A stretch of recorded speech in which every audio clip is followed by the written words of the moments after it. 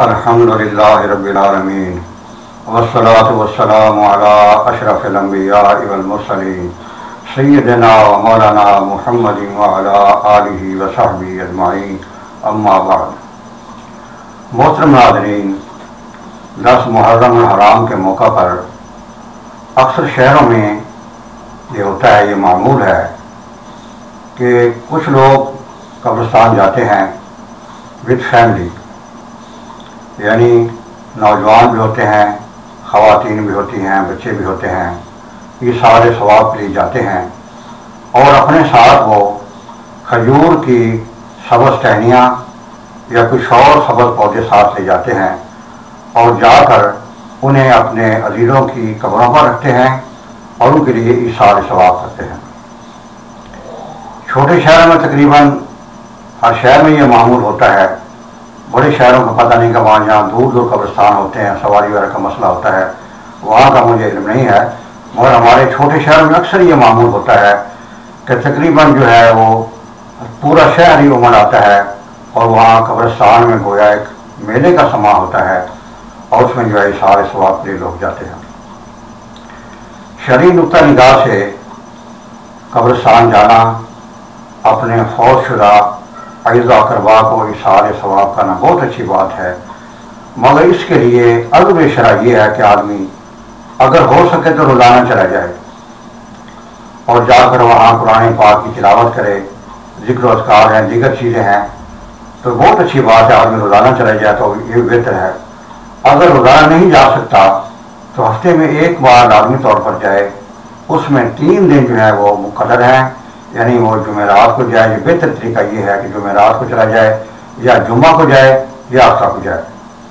اس میں جمعہ کو مبارک کا دن جو زیادہ بہتر ہے۔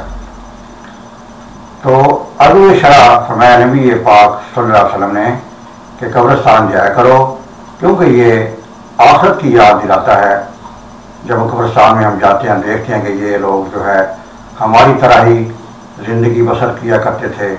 کھاتے پیتے تھے، چلتے پھرتے تھے، کاروبار تھا، انہوں نے بھرپور بھرپور زندگی گزاری ہے۔ مگر آج یہ مٹی کا ڈھیر پڑے ہوئے ہیں۔ ایک دن ہم نے بھی ان کے پاس آ کر مل جانا انہیں میں مل جانا ہے۔ تو قبرستان میں جانا جو ہے وہ آخر کی یاد دلاتا ہے۔ مگر سال میں ایک بار جانا اور دوسری بات یہ ہے کہ کھجور کی سبز ٹہنیاں، یہ سبز پودے لے جانا، انہیں جا کر قبروں پر رکھنا ان کی شرعی حیثیت کیا ہے؟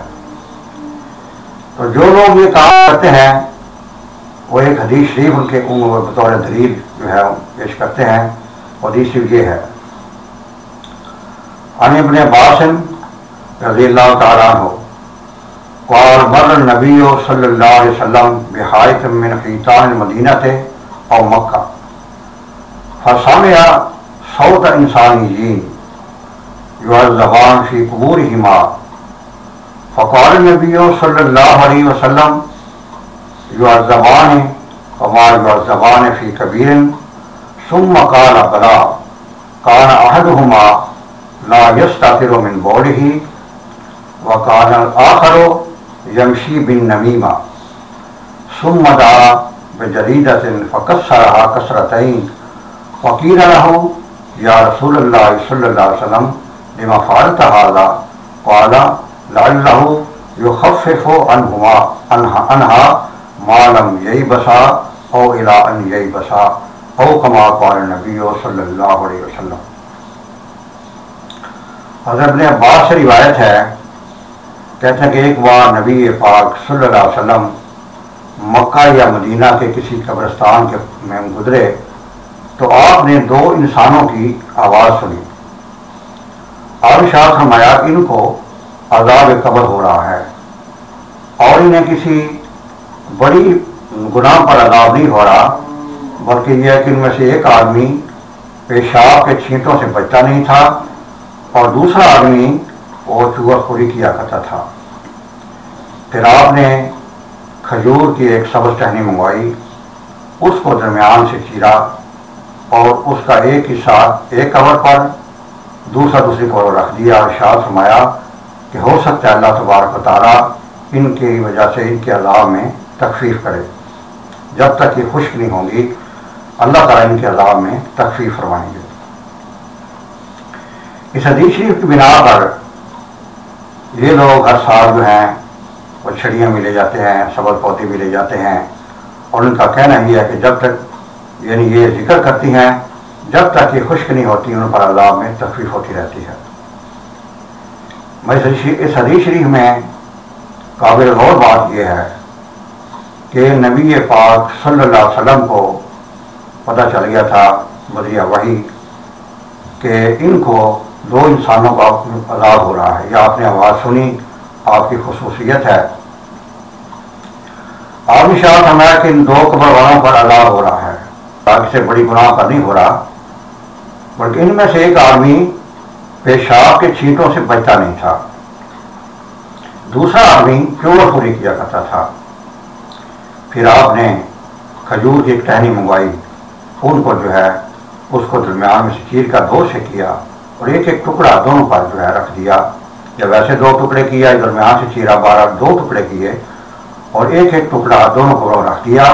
اشاعت ہمارا کہ شاید ان کی وجہ سے اللہ تبارک کے عذاب میں تکفیف فرمائیں گے اب ہم لوگ گویا یہ فرض کر لیتے ہیں کہ ہمارے مردوں کو، ہمارے عزیزوں کو نعوذ باللہ عذاب ہو رہا ہے۔ لہذا اگر ہم ان پر چھڑیاں رکھیں گے، تو جب تک یہ چھڑیاں خشک نہیں ہوں گی، ان پر عذاب میں تخفیف ہوتی رہے گی۔ اب یہ بات جو ہے، اگر فرض کر لی جائے کیونکہ نبی پاک صلی اللہ علیہ وسلم کو جو ہے پتہ چل گیا تھا، مگر ہمیں اس بات کا پتہ نہیں چلتا۔ مگر ہم اگر ان کی، آپ کی مطابق میں، آپ کی سنت میں یہ کام کریں، پھر ہونا یہ چاہیے کہ سارا سال ہی چھڑیاں رکھتے ہی رہیں۔ جب چھڑیاں خوش ہو جائیں، دوبارہ پھر رکھ لیں۔ کیونکہ چھڑیاں جو ہیں، وہ زیادہ سے زیادہ تین چار دن میں خوش ہو جاتی ہیں۔ پھر اگر ہمارے مردوں کو نعوذ باللہ عذاب ہو رہا ہے۔ اگر ہم فرض یہ کر لیتے ہیں، تو پھر ہونا تو یہ چاہیے۔ ان کے لیے بہتری تو یہ ہے ہمارے فوج شدہ دلوں کے لیے کیونکہ سارا سال یہ کام کریں۔ سارا سال ہی جو ہے وہ مستقل طور پر پابندی کے ساتھ، تواتر کے ساتھ قبرستان جائیں اور وہاں چھڑیاں رکھتے ہی رہیں۔ کیونکہ جب چھڑیاں خوش ہو جائیں گے پھر تو آرام تکلیف نہیں ہوگی۔ کیونکہ عام شاہ محرم یہی بسا۔ جب تک خشک نہیں ہوں گی ان پر عذاب قبر ہلکا ہو جائے گا، اللہ تکلیف فرمائیں گے۔ تو پھر ہماری کوشش یہ ہونی چاہیے کہ جو لوگ چھڑیاں رکھتے ہیں، انہیں چاہیے کہ پھر وہ جب بھی چھڑیاں خشک ہو جائیں تو دوبارہ نئی چھڑیاں رکھ دیں۔ پھر سال کے بعد جانا، پھر چھڑیاں رکھنا، یہ تو مردوں کے ساتھ انصاف نہیں ہے۔ اگر آج تصور کر لے کہ ہاں جی ہمارے فضا کار کو عذاب ہو رہا، وہ تو یہ کہ اللہ کی رحمت سے امید رکھنی چاہیے۔ ہمارے فوج جو وزیر ہیں۔ اللہ تعالیٰ کی رحمت سے اللہ نے اپنے فضل و کرم سے اپنے گناہوں کو معاف فرمائے اور وہ اعلیٰ مراتب والے مقام پر ہیں۔ یہ الگ بات ہے۔ اور جب ہم سوچیں کہ ہاں جی یہ سنت کے طور پر چھڑیاں رکھنے سے عذاب میں تکلیف ہوتی ہے، تو پھر چھڑیاں پہ رکھتے ہی رہنا چاہیے، خشک نہیں ہونی چاہیے۔ تو یہ ہمارا ایک مفروضہ ہے۔ یعنی یہ جو لوگ جو لوگ یہ کام کرتے ہیں، یہ اور جماعت کی اجماعی عقیدہ کے خلاف ہیں۔ بہتر طریقہ یہ ہے کہ آدمی یعنی اگر چھڑیاں رکھنی ہے تو آدمی کسی رکھ لے، کوئی مسئلہ نہیں ہے۔ مگر اگر رکھے تواتر کے ساتھ رکھے یا پھر نہ رکھے۔ اور دوسری بات یہ ہے کہ حدیث میں آتے آپ اشاعت فرمایا کہ شراف دعوات مستجابات ناشک کا فی ہننا کہ تین دعائیں ایسی جو لازمی طور پر قبول کی جاتی ہیں۔ دعوت الوالد، اس میں ایک دعا یعنی اولاد صالح کی دعا ہے والدین کے لیے۔ صالح اولاد ہے، نیک اولاد ہے، والدین فوت ہو چکے ہیں۔ ان کا معمول یہ ہے کہ وہ قرآن پاک کی تلاوت کرتے ہیں، ذکر اذکار کرتے ہیں، سب کا خیرات کرتے ہیں۔ اس کا سوال وہ اپنے عزیزوں کو، والدین کو بھیجتے ہیں یہ سب سے بہترین بات یہ ایک ذخیرہ ہے اولاد، والدین کے لیے۔ یعنی بہترین اولاد وہ ہے جو اپنے والدین کے لیے اگر فوت ہو گئے ہیں، ان کے لیے اشار ثواب کرے۔ مگر سال کے بعد جانا اور چھڑیاں ساتھ لے جانا یہ بدت ہے اور پھر یہ ہے کہ بے پردگی ہوتی ہے، خواتین بھی جاتی ہیں، نو عمر بچیاں بھی جاتی ہیں۔ اس سے جو ہے وہ بے پردگی ہوتی ہے اور یہ بات صحیح نہیں ہے۔ بہتر طریقہ یہ ہے کہ آدمی ہو سکے تو روزانہ چلا جائے کہ ہفتے میں ایک بار لازمی طور پر جائے، یہ سارے ثواب کرے اور پھر ان کے لیے دعا کرے، یہ سب سے بہتر طریقہ ہے۔ اللہ تعالیٰ دعا مجھے اور آپ کو اچھے عمال کریں گے توفیق عطا فرمائے، خاتمہ ایمان پر فرمائے۔ ہمارا علینا عز البلاغ